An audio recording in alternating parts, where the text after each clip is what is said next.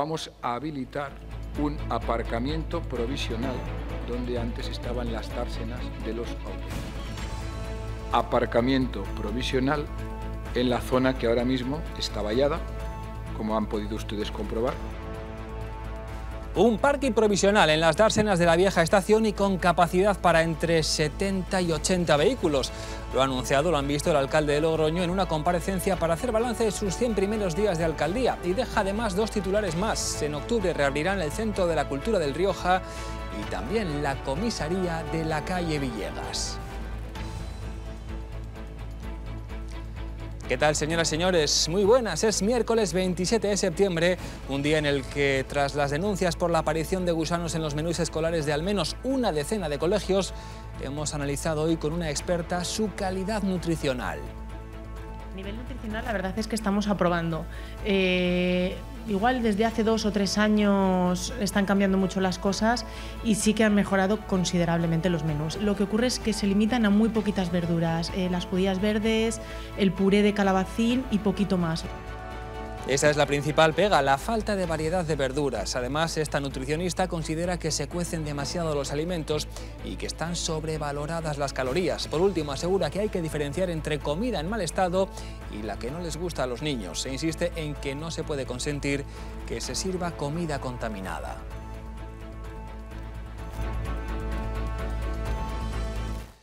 Alsa, fíjense, despide al conductor de autobús que adelantó en línea continua a un camión cerca del túnel de Piqueras. Alsa abrió una investigación para conocer los detalles del suceso y en un comunicado señala que se ha procedido a la identificación del conductor y a su despido de forma inmediata. Los santos se quedan en Arnedo. Los vecinos de Andosilla han intentado de nuevo el robo de los santos.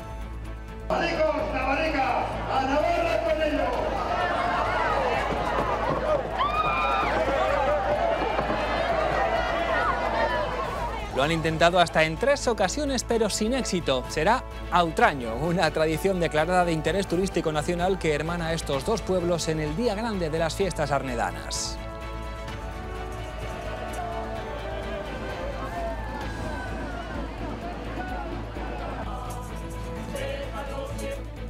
Deportes, la Unión Deportiva Logroñés juega esta noche en casa partido de Copa Federación ante el Laredo. Después de proclamarse campeones de la fase territorial, ahora los blanquirrojos empiezan su andadura nacional en el torneo y quieren pasar la eliminatoria. Hoy visita Logroño un equipo recién descendido a la tercera cántabra y que en su liga está llamado a ser campeón. Un conjunto que tiene buenos jugadores, pero de una categoría inferior y por tanto los riojanos deben demostrar en las gaunas que son mejores.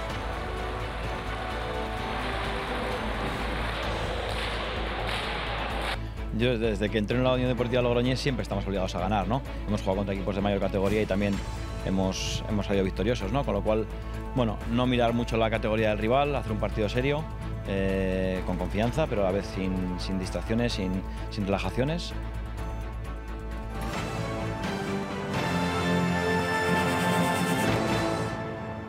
Durante las primeras semanas de octubre se va a ir produciendo ya el traslado de personal de personal de las unidades de cultura, turismo y comercio al Centro de Cultura del Rioja. Les puedo asegurar que va a ser un, eh, un gran dinamizador cultural, turístico y en cierto modo artístico porque el contenido de lo que hay se va a poder apreciar, pues va a tener un componente artístico eh, importante. El Centro de la Cultura del Rioja reabre este mismo mes, lo ha dicho el alcalde de Logroño en una comparecencia en la que ha hecho balance de los primeros 100 días de su equipo municipal. Ha habido más anuncios, más titulares. También reabrirá la comisaría de la calle Villegas y atención, la dársena de la antigua estación de autobuses se va a habilitar como aparcamiento provisional. Se cumplen 100 días de alcaldía de Conrado Escobar y además del balance positivo que ha realizado, el primer edil de Logroño ha dejado hoy muchos anuncios en su comparecencia. Justo en un mes reabrirá el CCR. El Centro de Cultura del Rioja va a abrir sus puertas el día 27 de octubre.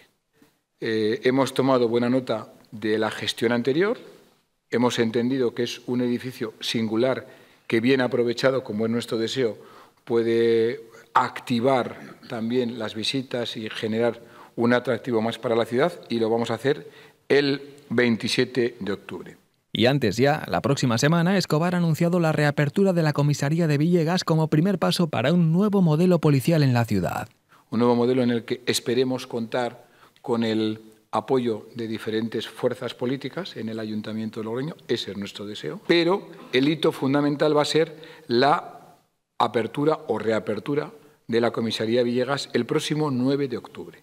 Entre los logros de estos 100 días ha destacado la apertura de la nueva estación y para la antigua insiste en que será un centro social gracias a los fondos europeos. Pero lo primero será dotar su hall, ha dicho, de contenido cultural y destinar las dársenas a un parking provisional. Vamos a habilitar un aparcamiento provisional donde antes estaban las dársenas de los autobuses.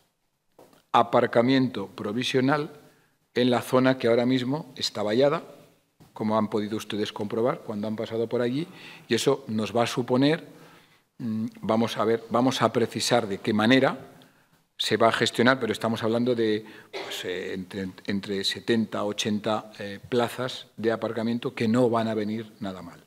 El alcalde ha asegurado que trabajan en dar cumplimiento a otros compromisos como la pasarela de los lirios o la reforma de la glorieta. Y continuamos en Logroño para contarles que los trabajos para la eliminación de las inscripciones franquistas de los muros de la Redonda ya han comenzado. En la zona que da a Portales se ha utilizado masilla para cubrir el nombre de José Antonio Primo de Rivera. Los trabajos se han realizado cumpliendo la normativa vigente sobre patrimonio, sin picado y con mortero. Esto en el muro sur, mientras que la de la zona norte se limpiará en lo posible y se colocará una placa informativa dada la imposibilidad de retirarla por completo.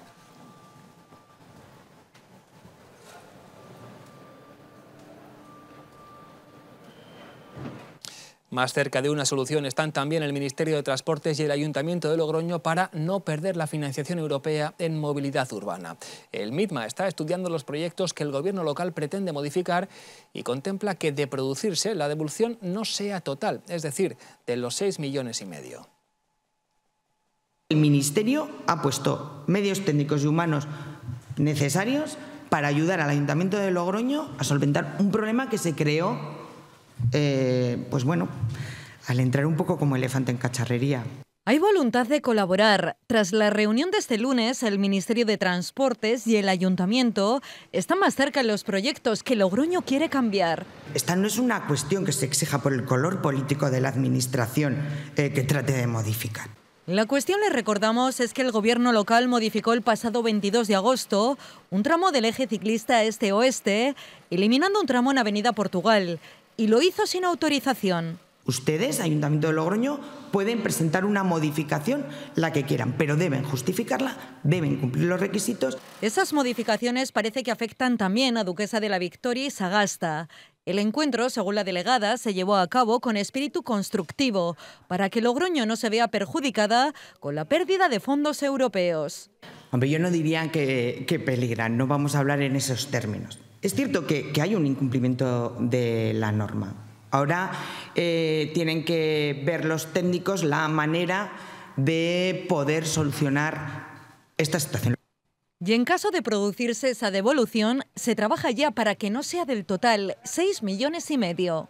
Sí que el Ministerio eh, ahí ha estado trabajando para que fuera incluso posible la esperemos que no, ¿eh? que fuera la devolución parcial también, ¿eh?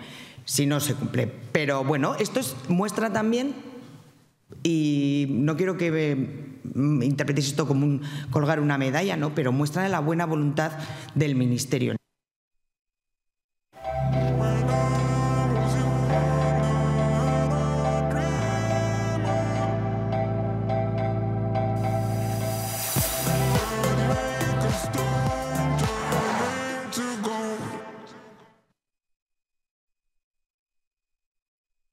Educación analiza con los servicios jurídicos una respuesta a la aparición de gusanos en los menús escolares de al menos una decena de colegios. Hoy, tras las denuncias de las familias, en TVR hemos analizado con una experta su calidad nutricional. Sobre el papel, los menús aprueban, pero se pueden mejorar. ¿En qué? En la variedad de verduras y en la cocción. Otra cosa, insiste Pablo Fernández, es la contaminación de los mismos, algo que no se puede permitir. ¿Comen bien nuestros hijos en el comedor? Es algo que a las familias les preocupa. De ahí que tras las denuncias por la aparición de gusanos en los menús escolares, pidamos a una experta que valore su calidad nutricional. A nivel nutricional, la verdad es que estamos aprobando. Eh, igual desde hace dos o tres años están cambiando mucho las cosas y sí que han mejorado considerablemente los menús a nivel nutricional. ¿eh? Sí que son bastante más equilibrados, bastante más saludables. Aprueban, pero hay margen de mejora. En general, lo que ocurre es que se limitan a muy poquitas verduras, eh, las judías verdes, el puré de calabacín y poquito más. Entonces hay que aportar mucha más variedad. Y no es la única pega. Cuando nosotros nos imaginamos una menestra, por ejemplo, eh, muy apetitosa y demás, luego no tiene nada que ver con lo que vemos en una foto real del comedor. Y es que muchas veces se cuece demasiado la verdura. En general todos los alimentos, pero sobre todo la verdura, y deja de ser atractiva. Desde Nutrium, su directora técnica insiste en que hay que diferenciar entre comida en mal estado y que no les gusta a los niños. Hay que entender que igual el arroz con tomate del comedor no está tan rico como el arroz con tomate de casa, pero, pero que muchas veces eso no atiende a que no sea buena la calidad de la comida. Y después luego está el efecto ese de grupo, de que como a nadie le gusta la comida del comedor, pues a mí tampoco. ¿no? Ahora bien, deja claro que no se puede consentir que se sirva comida contaminada. Ha habido ahí un problema de manipulación, de higiene o de conservación que desde luego hay que descubrir y hay que depurar responsabilidades. Para terminar, un consejo. Un error que nosotros observamos los nutricionistas es que en muchas ocasiones con los niños pequeños eh, se sirve demasiada cantidad, las calorías son excesivas y estamos sobrealimentando a los niños, incluso en algunos comedores, obligando a comerse todo el plato cuando en realidad no tienen apetito para tanto. Las calorías, asegura, están sobrevaloradas y la obesidad es un problema.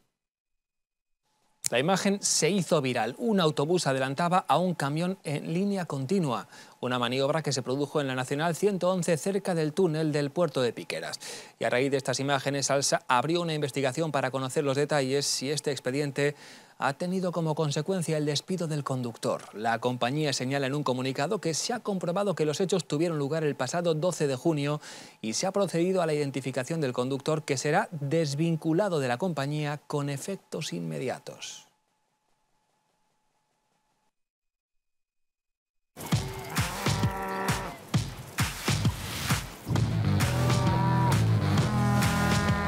Hay imprevistos que lo cambian todo y los riesgos están ahí siempre, como el saneamiento, la pérdida de crías o las enfermedades del ganado. Por eso necesitas un buen seguro pecuario que garantice tu tranquilidad. Agroseguro. Trabaja sobre seguro.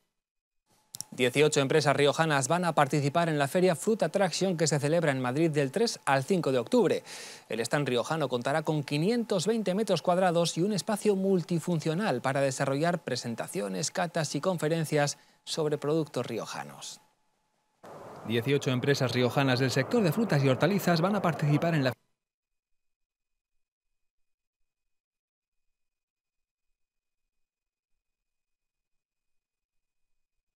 de lo que es La Rioja en Fruit Tradition, que es una feria, como bien saben todos ustedes, que podemos considerar como herramienta de referencia en cuanto a la comercialización a nivel mundial de frutas y hortalizas. La Rioja ha estado siempre presente en esta feria desde su primera edición y las empresas, los empresarios nos cuentan que en ella pues, han conseguido grandes contactos a nivel eh, mundial con países como Francia, Italia o el Reino Unido. Se trata de una de las mayores ferias mundiales del sector de frutas y hortalizas. En el stand riojano de más de 500 metros cuadrados habrá una zona central para conferencias, presentaciones y catas de productos riojanos. Este año eh, va a haber eh, dentro de ese stand compartido donde están los 18 empresas, en la zona central va a haber un espacio que es el espacio que el gobierno de La Rioja este año se ha implicado hasta eh, tener una situación allí para hacer todas estas actividades que luego además se van a hacer en otras eh, salas de, de la feria. La feria reunirá a 1.800 empresas expositoras de 137 países y prevé recibir a más de 90.000 visitantes profesionales.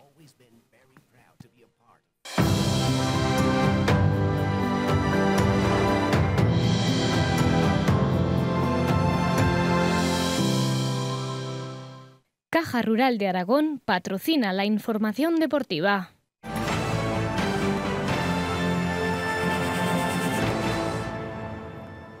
Al final, bueno, venimos de, un partido que empatamos eh, fuera el, sábado y bueno, pues cuanto antes llegue otro partido para intentar ganar, pues, pues mejor. En este caso es un partido de copa y en casa con nuestra gente, con lo cual pues con ganas de afrontarlo y de hacer un buen partido.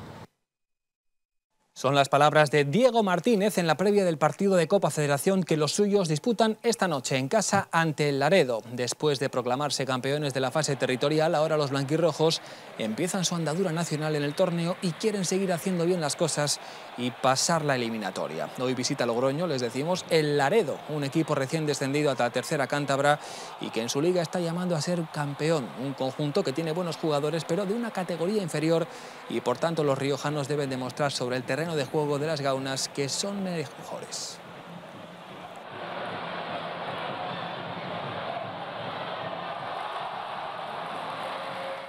Una victoria esta noche ante el Laredo acercaría a los riojanos a la Copa del Rey, aunque todavía tendrían que pasar dos eliminatorias más para jugarla. Diego Martínez hará rotaciones hoy y va a buscar que los suyos sigan también en defensa como hasta ahora.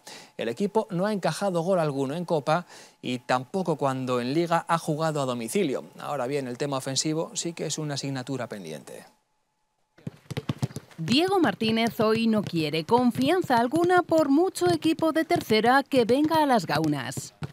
Yo desde que entré en la Unión Deportiva Logroñés siempre estamos obligados a ganar, ¿no? Hemos jugado contra equipos de mayor categoría y también hemos, hemos salido victoriosos, ¿no? Con lo cual, bueno, no mirar mucho la categoría del rival, hacer un partido serio, eh, con confianza, pero a la vez sin, distracciones, sin, relajaciones. Eh, intentar lo que te comento, ¿no? hacer un, buen partido, concentrados y a partir de ahí pues, pues intentar ganar, porque además bueno, el Areo también está llamado a, en su categoría a ser de los, de los equipos importantes y lógicamente van a, van a buscar pasar de ronda también.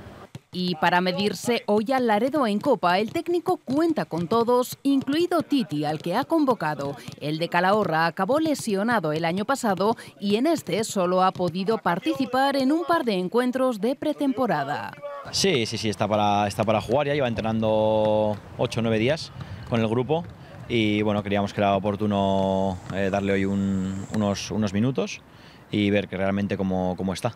Y con todos los blanquirrojos buscarán el pase a la siguiente ronda. Quieren ganar y para eso saben que tienen que marcar, algo que al menos en liga y a domicilio se les está resistiendo. Está siendo un poquito nuestro debe en todos los partidos, incluso los que hemos ganado eh, cómodamente, por decirlo de alguna manera. Creo que hemos tenido más ocasiones de las que hemos convertido. Y bueno, pues eh, un poco lo que suelo decir, ¿no? Primero generar más ocasiones y de generar más ocasiones pues intentar hacer más goles, ¿no? Pero, pero bueno, con confianza con los chicos, eh, están trabajando bien, estamos contentos. Si la Unión Deportiva Logroñés gana hoy, se medirá el próximo miércoles y de nuevo en las Gaunas al vencedor del partido entre la Gimnástica de Torrelavega y el Ourense. El Río Verde Clavijo ya cuenta los días que le faltan para su debut liguero del próximo 6 de octubre en Alicante. La plantilla riojana continúa con su puesta a punto y de hecho mañana jueves disputará su último amistoso de pretemporada. Será en Amorebieta ante el Zornocha, encuentro que Genaro Díaz aprovechará para seguir puliendo esos detalles que todavía le han impedido al conjunto de Logroño celebrar una victoria en los cuatro partidos disputados hasta el momento.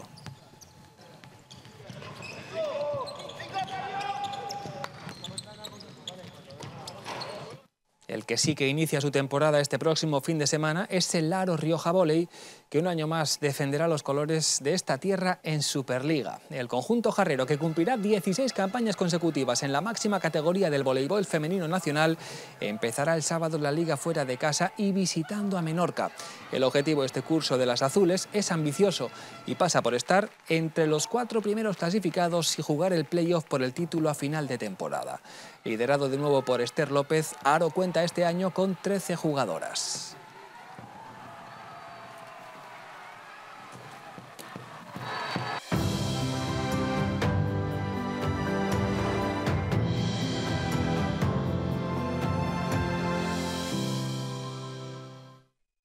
La historia ha vuelto a repetirse. Hasta en tres ocasiones los vecinos de la localidad navarra de Andosilla han intentado el robo de los santos San Cosme y San Damián. Y las tres con idéntico resultado. Los mártires se han quedado en Arnedo, pero con la promesa de que a Utraño lo volverán a intentar. Y siguiendo este intento de robo ha estado nuestra compañera Natalia Pérez. Los pozos de Arnedo vuelven a impedir un año más que los jóvenes desplazados desde la Navarra de Andosilla se lleven las imágenes de San Cosme y San Damián. Arnedo revive esta tradición en su día grande en la que evita así que los navarros se lleven a los patrones de la localidad riojana. Es una tradición que se desconoce prácticamente su origen, pero que se lleva realizando durante varios siglos. Así que habrá que esperar a otro año más, como se dice aquí tradicionalmente, para que los navarros vuelvan a intentar llevarse las imágenes de San Cosme y San Damián. Pues eso, otro año será que tampoco. Así ponemos el punto final al relato informativo de la actualidad riojana de este miércoles 27 de septiembre de 2023. Gracias por su confianza y sigan en la compañía de TVR.